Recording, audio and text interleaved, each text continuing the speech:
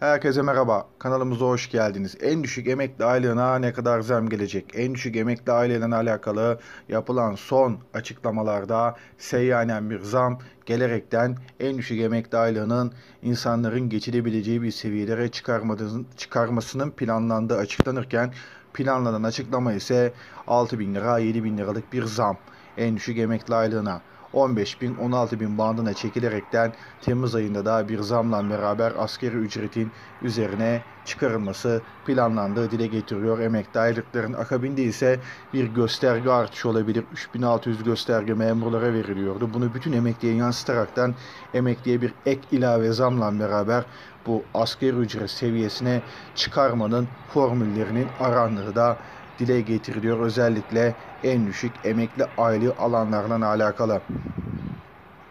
Akabinde bir Tem Temmuz ayında zam yapılacak ama Temmuz'dan önce e, Mayıs ayında Mayıs paketi altında bayramdan önce emeklilere bir zam verilmesi planlanıyordu. Bu zammın seyyanen olaraktan meclise gelerekten mecliste onaylanması bekliyor. Miktarında çok bir netlik yok ama 5 bin liraya kadar 6 bin liraya kadar bir zam planlandığı dile getiriliyor. Özellikle sadece en düşük emekli aylığı alanlarla alakalı. Bakın 10.000 TL maaş alanların maaşlarına 15.000 TL bir de dul yetim aylıkları var. Bunlar da dahil buna.